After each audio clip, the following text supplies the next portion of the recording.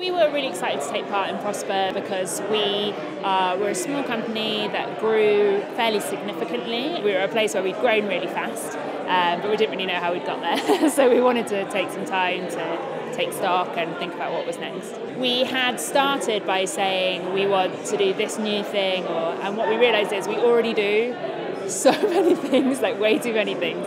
So actually, it was really for us more about thinking, okay, what are we doing well already, and how do we build slowly on that rather than trying to do all the things at once. In the arts, we're not very good at being business minded all the time. Ironically, we're not actually that creative about how we think about business or growth.